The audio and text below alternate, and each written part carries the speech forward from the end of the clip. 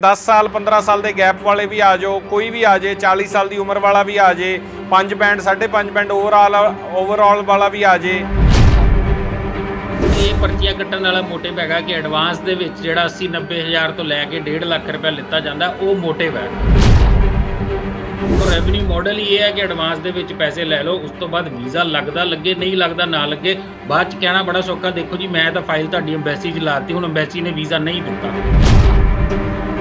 ਦਸਾਂ ਚੋਂ ਜਾਂ ਸੋਵਾਂ ਚੋਂ ਕੋਈ ਇੱਕ ਵੀਜ਼ਾ ਕਿਸੇ ਦਾ ਆ ਜਾਂਦਾ ਹੋਊਗਾ ਔਰ ਇੱਕ ਵੀਜ਼ੇ ਨੂੰ ਇਸ ਤਰੀਕੇ ਨਾਲ ਪ੍ਰੈਜ਼ੈਂਟ ਕੀਤਾ ਜਾਂਦਾ ਕਿ ਪਤਾ ਨਹੀਂ ਕਿੱਡੀ ਵੱਡੀ ਜਿਹੜੀ ਮਾਰ ਹੈਗੀ ਉਹ ਮਾਰ ਲਈ। ਹਾਂ ਤੁਸੀਂ ਲੋਟਰੀ ਪਾਣਾ ਚਾਹੁੰਦੇ ਹੋ ਜਿਵੇਂ ਅਹ, ਲੋਕੀ ਪਾਉਂਦੇ ਆ ਹਾਂ, ਪਾਲੋ ਜਰੂਰ ਪਾਓ ਲੋਟਰੀ 1.5 ਲੱਖ ਰੁਪਏ ਦੀ ਲੋਟਰੀ ਦੀ ਟਿਕਟ ਹੈ।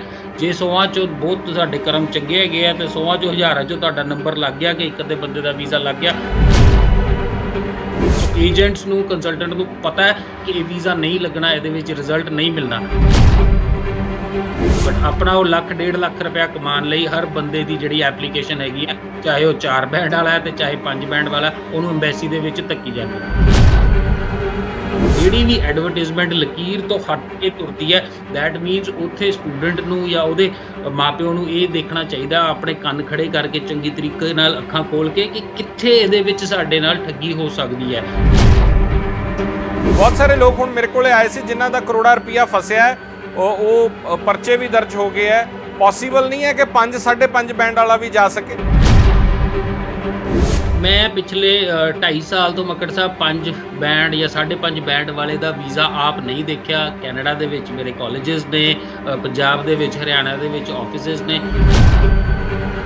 ਅੱਜ ਵੀ ਕਿਸੇ ਵੀ ਆਫਿਸ ਬੰਦਾ ਵਿਜ਼ਿਟ ਕਰਦਾ, ਜੇ ਉਹਦੇ 6 ਈਚ ਨਹੀਂ ਹੈਗੇ, ਅਸੀਂ ਅੱਜ ਵੀ ਉਸ ਸਟੂਡੈਂਟ ਨੂੰ ਐਕਸੈਪਟ ਨਹੀਂ ਕਰਦੇ ਕੈਨੇਡਾ ਦੀ ਐਪਲੀਕੇਸ਼ਨ ਲਗਾਉਣ ਲਈ।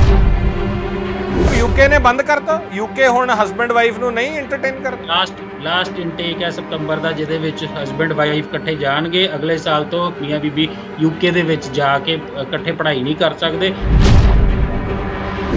ਸਤਿ ਸ਼੍ਰੀ ਅਕਾਲ ਔਨ 에ਅਰ ਦੇਖ ਰਹੇ ਹੋ। ਮੈਂ ਹਾਂ ਸਿਮਰਨਜੋਤ ਸਿੰਘ ਮੱਕੜ। ਮੁੱਖ ਮੰਤਰੀ ਪੰਜਾਬ ਅੱਜ ਬਹੁਤ ਚਿੰਤਤ ਰਹੇ ਜਦੋਂ ਉਹਨਾਂ ਨੇ ਹਿਊਮਨ ਟ੍ਰੈਫਿਕਿੰਗ ਵਿੰਗ ਦੇ ਵਿੱਚ ਗੱਡੀਆਂ ਐਡ ਕੀਤੀਆਂ ਤੇ ਕਿਹਾ ਕਿ ਉਹਨਾਂ ਏਜੰਟਾਂ ਦੇ ਖਿਲਾਫ ਕਾਰਵਾਈ ਕਰਾਂਗੇ।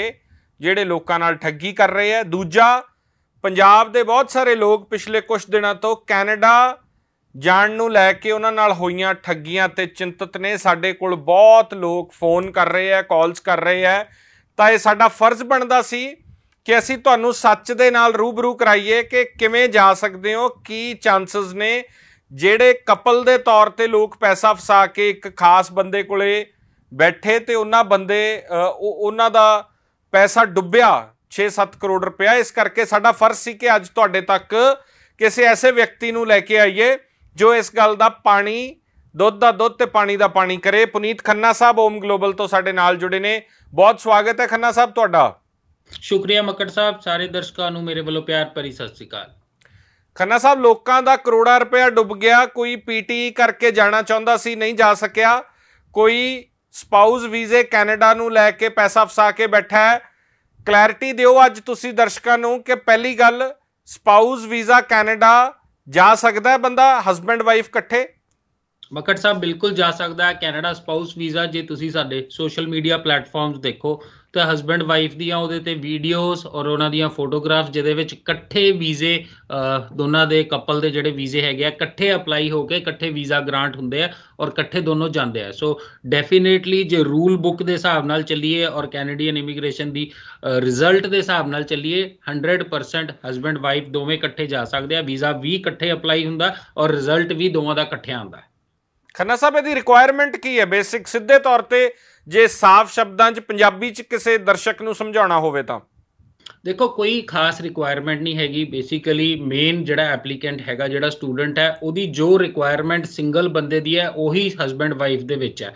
ਹਸਬੈਂਡ ਨਾਲ ਇੱਕ ਡਿਪੈਂਡੈਂਟ ਜਾਂਦਾ ਜਿਹਦੇ ਵਿੱਚ ਮੋਸਟ ਆਫ ਦੀ ਟਾਈਮਸ ਉਹਨੂੰ ਓਪਨ ਵਰਕ ਪਰਮਿਟ ਜਿਹੜਾ ਹੈਗਾ ਕੈਨੇਡਾ ਦਾ, ਉਹ ਗ੍ਰਾਂਟ ਹੁੰਦਾ ਨਾਲ ਜਿਹੜਾ ਮੇਨ ਐਪਲੀਕੈਂਟ ਹੈਗਾ, ਉਹਨੂੰ ਸਟੂਡੈਂਟ ਵੀਜ਼ਾ ਗ੍ਰਾਂਟ ਹੁੰਦਾ ਸੋ ਸਟੂਡੈਂਟ ਦੀਆਂ ਜਿਹੜੀਆਂ ਰਿਕੁਆਇਰਮੈਂਟਸ ਨੇ, ਉਹ ਉਹ ਸੇਮ ਹੀ ਰਹਿਣਗੀਆਂ ਐਸਡੀਐਸ ਕੈਟਾਗਰੀ ਦੇ ਤਹਿਤ, ਜੇ ਆਪਾਂ ਗੱਲ ਕਰ ਲਈਏ, ਤੇ ਆਇਲਟਸ ਦਾ 6 ਈਚ ਬੈਂਡ ਸਕੋਰ ਔਰ ਉਸ ਤੋਂ ਇਲਾਵਾ 1 ਸਾਲ ਦੀ ਟਿਊਸ਼ਨ ਫੀਸ ਔਰ 1 ਸਾਲ ਦੀ ਜਿਹੜੀ ਜੀਆਈਸੀ ਆਪਾਂ ਡਿਪੋਜ਼ਿਟ ਕਰਦੇ ਆ ਉਹੀ ਰਿਕੁਆਇਰਮੈਂਟਸ ਰਹਿਣਗੀਆਂ। ਔਰ ਜਿਹੜਾ ਨਾਲ ਡਿਪੈਂਡੈਂਟ ਹੈਗਾ, ਉਹਦੇ ਸਿਰਫ ਪਾਸਪੋਰਟ ਔਰ ਬਾਕੀ ਡਾਕੂਮੈਂਟਸ ਜਿਹੜੇ ਜੈਨਰਿਕ ਡਾਕੂਮੈਂਟਸ ਨੇ, ਉਹ ਨਾਲ ਲੱਗਣਗੇ। ਉਹਦੀ ਕੁਆਲੀਫਿਕੇਸ਼ਨ ਜਾਂ ਆਇਲਟਸ ਕਿਸੇ ਵੀ ਤਰ੍ਹਾਂ ਦੀ ਹੋਰ ਰਿਕੁਆਇਰਮੈਂਟ ਜਿਹੜੀ ਹੈਗੀ ਹੈ ਉਹ CIC ਵੱਲੋਂ ਕਿਤੇ ਨਾ ਮੈਂਸ਼ਨਡ ਹੈ ਔਰ ਨਾ ਐਪਲੀਕੇਸ਼ਨ ਦੇ ਵਿੱਚ ਨਾਲ ਜਾਂਦੀ ਹੈ ਜੀ।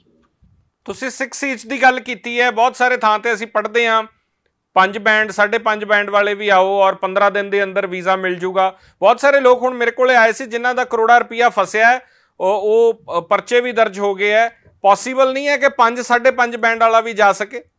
ਮੈਂ ਪਿਛਲੇ 2.5 ਸਾਲ ਤੋਂ ਮੱਕੜ ਸਾਹਿਬ 5 ਬੈਂਡ ਜਾਂ 5.5 ਬੈਂਡ ਵਾਲੇ ਦਾ ਵੀਜ਼ਾ ਆਪ ਨਹੀਂ ਦੇਖਿਆ। ਕੈਨੇਡਾ ਦੇ ਵਿੱਚ ਮੇਰੇ ਕਾਲਜਸ ਨੇ ਪੰਜਾਬ ਦੇ ਵਿੱਚ, ਹਰਿਆਣਾ ਦੇ ਵਿੱਚ ਆਫਿਸਿਸ ਨੇ। ਸੋ ਰੋਜ਼ ਇਹ ਕੰਮ ਕਰਦੇ ਆ ਰੋਜ਼ ਵੀਜ਼ਾ ਐਪਲੀਕੇਸ਼ਨਸ ਫਾਈਲ ਕਰਦੇ ਆ ਰੋਜ਼ ਰਿਜ਼ਲਟਸ ਦੇਖਦੇ ਆ ਔਰ ਆਪਣੇ ਹੀ ਨਹੀਂ, ਬਹੁਤ ਸਾਰੇ ਹੋਰ ਏਜੰਟਸ ਦੇ ਨਾਲ ਵੀ ਰੈਗੂਲਰਲੀ ਜਿਹੜਾ ਚੰਗਾ ਕੰਮ ਕਰਦੇ, ਉਹਨਾਂ ਨਾਲ ਵੀ ਗੱਲ ਹੁੰਦੀ ਆ ਆਈ ਥਿੰਕ 2.5 ਤੋਂ 3 ਸਾਲ ਪਹਿਲਾਂ ਅਸੀਂ ਇੱਕ ਮੋਡਿਊਲ ਚ 5.5 ਬੈਂਡ ਵਾਲਾ ਜਿਹੜਾ ਸਟੂਡੈਂਟ ਆ, ਉਹਨੂੰ ਲੈਣਾ ਬੰਦ ਕਰਤਾ ਸੀਗਾ। ਔਰ ਅੱਜ ਵੀ ਕਿਸੇ ਵੀ ਆਫਿਸ ਬੰਦਾ ਵਿਜ਼ਿਟ ਕਰਦਾ ਜੇ ਉਹਦੇ 6 ਈਚ ਨਹੀਂ ਹੈਗੇ, ਅਸੀਂ ਅੱਜ ਵੀ ਉਸ ਸਟੂਡੈਂਟ ਨੂੰ ਐਕਸੈਪਟ ਨਹੀਂ ਕਰਦੇ ਕੈਨੇਡਾ ਦੀ ਐਪਲੀਕੇਸ਼ਨ ਲਗਾਉਣ ਲਈ। ਬੜੇ ਲੋਕਾਂ ਦੀ ਪ੍ਰੋਮੋਸ਼ਨ ਮੈਂ ਦੇਖਦਾ ਮੈਂ ਆਪ ਵੀ ਫੇਸਬੁੱਕ ਦੇ ਉੱਤੇ ਜਾਂ ਇੰਸਟਾਗ੍ਰam ਦੇ ਉੱਤੇ, ਜਿਹਦੇ ਚ ਇੱਕ ਚ 5.5 ਓਵਰਆਲ 5.5 ਬੈਂਡ ਵਾਲਾ ਬੰਦੇ ਨੂੰ ਲੈਂਦੇ ਆ। ਉਹਦੇ ਵਿੱਚ 80 85000 ਰੁਪਏ ਤੋਂ ਲੈ ਕੇ 1.5 ਲੱਖ ਰੁਪਏ ਤੱਕ ਉਸ ਬੰਦੇ ਤੋਂ ਪਹਿਲਾਂ ਐਡਵਾਂਸ ਦੇ ਵਿੱਚ ਲੈ ਲਿਆ ਜਾਂਦਾ ਔਰ ਐਂਡ ਉਹਨੂੰ ਉਹ 1.5 ਲੱਖ ਰੁਪਏ ਦੀ ਰਿਫਿਊਜ਼ਲ ਲੈਟਰ ਹੱਥ ਦੇ ਵਿੱਚ ਆਂਦੀ ਹੈ, ਜਿਹਦੇ ਵਿੱਚ ਇੱਕ ਜੈਨਰਿਕ ਰਿਫਿਊਜ਼ਲ ਲਿਖੀ ਹੁੰਦੀ ਹੈ, ਜਿਹਦੇ ਵਿੱਚ ਐਮਬੈਸੀ ਐਮਬੈਸੀ ਵੱਲੋਂ ਆਇਲਟਸ ਦੀ ਕਿਤੇ ਵੀ ਗੱਲ ਨਹੀਂ ਕੀਤੀ ਜਾਂਦੀ ਬਟ ਉਹਨੂੰ ਇਹ ਦੱਸਿਆ ਜਾਂਦਾ ਕਿ ਤੇਰਾ ਵੀਜ਼ਾ ਰਿਫਿਊਜ਼ ਹੋ ਗਿਆ। ਸੋ ਏਜੰਟਸ ਨੂੰ ਕੰਸਲਟੈਂਟ ਨੂੰ ਪਤਾ ਹੈ ਕਿ ਇਹ ਵੀਜ਼ਾ ਨਹੀਂ ਲੱਗਣਾ, ਇਹਦੇ ਵਿੱਚ ਰਿਜ਼ਲਟ ਨਹੀਂ ਮਿਲਣਾ ਬਟ ਆਪਣਾ ਉਹ ਲੱਖ 1.5 ਲੱਖ ਰੁਪਏ ਕਮਾਉਣ ਲਈ ਹਰ ਬੰਦੇ ਦੀ ਜਿਹੜੀ ਐਪਲੀਕੇਸ਼ਨ ਹੈਗੀ ਹੈ ਚਾਹੇ ਉਹ ਚਾਰ ਬੈਂਡ ਵਾਲਾ ਹੈ ਤੇ ਚਾਹੇ ਪੰਜ ਬੈਂਡ ਵਾਲਾ ਉਹਨੂੰ ਐਮਬੈਸੀ ਦੇ ਵਿੱਚ ਧੱਕੀ ਜਾਂਦੇ ਹੋ। ਜਿੱਥੋਂ ਤੱਕ ਸਟੂਡੈਂਟ ਵੀਜ਼ਾ ਦੀ ਜੇ ਗੱਲ ਕਰ ਲਈਏ ਅੱਜ ਦੀ ਡੇਟ ਦੇ ਵਿੱਚ, ਮੈਂ ਆਪਣਾ ਚਾਹਾਂ ਸਟੂਡੈਂਟ ਵੀਜ਼ਾ ਪਾ ਸਕਦਾ, ਤੁਹਾਡਾ ਪਾ ਸਕਦਾ, ਮੈਂ ਆਪਣੇ ਫਾਦਰ ਸਾਹਿਬ ਦਾ ਵੀ ਸਟੂਡੈਂਟ ਵੀਜ਼ਾ ਅਪਲਾਈ ਕਰ ਸਕਦਾ। ਅਪਲਾਈ ਕਰਨਾ ਬੜਾ ਸੌਖਾ ਹੈ। ਆਨਲਾਈਨ ਜਾਓ, ਜਾ ਕੇ ਐਪਲੀਕੇਸ਼ਨ ਲੌਂਚ ਕਰ ਦਿਓ ਸਰਟਨ ਡਿਟੇਲਸ ਚਾਹੀਦੀਆਂ, ਕਿਸੇ ਦੀ ਵੀ ਪਾਸਪੋਰਟ ਕਾਪੀ ਤੁਹਾਡੇ ਕੋਲ ਹੈਗੀ ਆ, ਉਹਦੀ ਕੈਲੋਏ ਲਓ ਪ੍ਰਾਈਵੇਟ ਕਾਲਜ ਤੋਂ, ਤਾਂ ਵੀਜ਼ਾ ਐਪਲੀਕੇਸ਼ਨ ਲੌਂਚ ਹੋ ਜਾਂਦੀ। End of the day result ਕੀ ਲੈਣੇ ਹੋ ਤੁਸੀਂ, ਉਹਨੂੰ ਕਿੰਨੇ ਪਰਸੈਂਟ ਸਕਸੈਸ ਮਿਲਦੀ ਆ, ਉਹਦੇ ਤੇ ਡਿਪੈਂਡ ਕਰਦਾ। ਸੋ ਅਸੀਂ 6 ਈਚ ਤੋਂ ਘੱਟ ਵਾਲੇ ਸਟੂਡੈਂਟ ਨੂੰ ਨਾ ਉਹਦਾ ਕੇਸ ਐਨਰੋਲ ਕਰਦੇ ਆ ਨਾ ਉਹਦੀ ਫਾਈਲ ਐਮਬੈਸੀ ਤੱਕ ਪਹੁੰਚਾਉਂਦੇ ਆ ਜੀ। ਫਿਰ ਜਿਹੜਾ ਇਹ 10 ਸਾਲ ਦਾ ਗੈਪ 15 ਸਾਲ ਦਾ ਗੈਪ 20 ਸਾਲ ਦਾ ਗੈਪ ਇਹ ਐਡਸ ਆਉਂਦੀਆਂ ਦੇਖੋ ਗੈਪ ਇਜ਼ ਅ ਵੈਰੀ ਅਜੀਬ ਜੀ ਟਰਮ ਹੈ। ਅਜੀਬ ਜੀ ਟਰਮ ਕਿਸ ਤਰੀਕੇ ਦੇ ਨਾਲ ਹੈ? ਜਦੋਂ ਗਵਰਨਮੈਂਟ ਵੀਜ਼ਾ ਦਿੰਦੀ ਹੈ ਕਿਸੇ ਵੀ ਕੰਟਰੀ ਦੀ ਤੁਹਾਨੂੰ ਉਹ ਇਹ ਪੁੱਛਦੀ ਹੈ ਕਿ ਇਹ ਕੀ ਇਹ ਸਟੂਡੈਂਟ ਇੱਕ ਜੈਨੂਇਨ ਸਟੂਡੈਂਟ ਹੈਗਾ ਕਿ ਨਹੀਂ ਹੈਗਾ? ਜੇ on a side note Australia ਦੀ ਗੱਲ ਕਰਾਂ, ਮੈਂ ਕਰੰਟਲੀ ਆਸਟ੍ਰੇਲੀਆ ਦੇ ਵਿੱਚ ਆ ਤਾਂ ਆਸਟ੍ਰੇਲੀਆ ਨੇ ਵੀ ਇਹ ਕਹਿਣਾ ਸ਼ੁਰੂ ਕਰਤਾ ਕਿ ਅਸੀਂ ਜੈਨੂਇਨ ਟੈਂਪਰੇਰੀ ਐਂਟਰੈਂਟ ਜਿਹੜੀ ਜੀਟੀ ਹੈਗੀ ਆ, ਉਹਨੂੰ ਛੱਡ ਕੇ ਜੈਨੂਇਨ ਸਟੂਡੈਂਟ ਵਾਲੇ ਪਾਸੇ ਦੇਖਣਾ ਸ਼ੁਰੂ ਕਰਾਂਗੇ। ਸੋ ਜੈਨੂਇਨ ਸਟੂਡੈਂਟ ਜਿਹੜਾ ਹੈਗਾ, ਉਹਦੇ ਵਿੱਚ ਉਹ ਦੇਖਦੇ ਆ ਕਿ ਕੀ ਪੜ੍ਹਾਈ ਉਹਦੀ ਕੰਟੀਨਿਊਏਸ਼ਨ ਦੇ ਵਿੱਚ ਹੈਗੀ ਹੈ ਜਾਂ ਨਹੀਂ ਹੈਗੀ। But at the end of the day ਜੇ ਕਿਸੇ ਨੇ ਸਾਲ 2 ਸਾਲ 4 ਸਾਲ ਪੜ੍ਹਾਈ ਨਹੀਂ ਕੀਤੀ ਔਰ ਅੱਜ ਉਹਦੀ ਇੰਟੈਂਸ਼ਨ ਪੜ੍ਹਾਈ ਕਰਨ ਦੀ ਹੈਗੀ ਹੈ ਔਰ ਜਾਂ ਅੱਜ ਉਹਦਾ ਮਾਈਂਡਸੈਟ ਇਸ ਪਾਸੇ ਬੰਦਾ ਕਿ ਉਹ ਆਪਣੀ ਸਕਿੱਲਸ ਐਨਹਾਂਸ ਕਰਨਾ ਚਾਹੁੰਦਾ, ਉਹ ਆਪਣੀ ਕੁਆਲੀਫਿਕੇਸ਼ਨ ਵਧਾਉਣਾ ਚਾਹੁੰਦਾ, ਉਹਦੇ ਵਿੱਚ ਗਵਰਨਮੈਂਟ ਨੂੰ ਪ੍ਰੋਬਲਮ ਨਹੀਂ ਹੁੰਦੀ। ਐਸ ਲੌਂਗ ਐਸ ਤੁਸੀਂ ਜਸਟੀਫਾਈ ਕਰ ਸਕਦੇ ਹੋ, ਦੱਸ ਸਕਦੇ ਹੋ ਕਿ ਕਿਉਂ ਮੈਂ ਇਹ 3 ਸਾਲ 4 ਸਾਲ ਪੜ੍ਹਾਈ ਨਹੀਂ ਕੀਤੀ ਔਰ ਹੁਣ ਕਿਉਂ ਮੈਂ ਪੜ੍ਹਾਈ ਕਰਨਾ ਚਾਹੁੰਦਾ? ਦੇਖੋ ਮੇਨਲੀ ਹੁੰਦਾ ਕੀ ਹੈ ਕਿ ਜਿਹੜੀ ਵੀ ਐਡਵਰਟਾਈਜ਼ਮੈਂਟ ਲਕੀਰ ਤੋਂ ਹਟ ਕੇ ਤੁਰਦੀ ਹੈ ਥੈਟ ਮੀਨਸ ਉੱਥੇ ਸਟੂਡੈਂਟ ਨੂੰ ਜਾਂ ਉਹਦੇ ਮਾਪਿਓ ਨੂੰ ਇਹ ਦੇਖਣਾ ਚਾਹੀਦਾ, ਆਪਣੇ ਕੰਨ ਖੜੇ ਕਰਕੇ ਚੰਗੀ ਤਰੀਕੇ ਨਾਲ ਅੱਖਾਂ ਖੋਲ ਕੇ ਕਿ ਕਿੱਥੇ ਇਹਦੇ ਵਿੱਚ ਸਾਡੇ ਨਾਲ ਠੱਗੀ ਹੋ ਸਕਦੀ ਹੈ।